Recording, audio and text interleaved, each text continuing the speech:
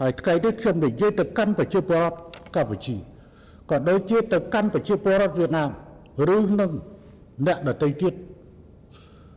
ដែលត្រូវការស្ដាប់ការពន្យល់របស់ខ្ញុំខ្ញុំមិនត្រូវការឲ្យប្រជាជនកម្ពុជា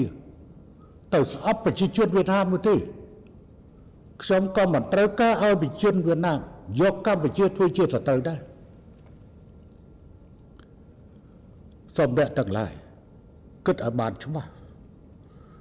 រឿងបញ្ហាការអភិវឌ្ឍសេដ្ឋកិច្ចសង្គមវាជាបញ្ហាមួយហើយ ដែលខ្ញុំបានលើកប្រៀបធៀបបានលើកប្រៀបធៀប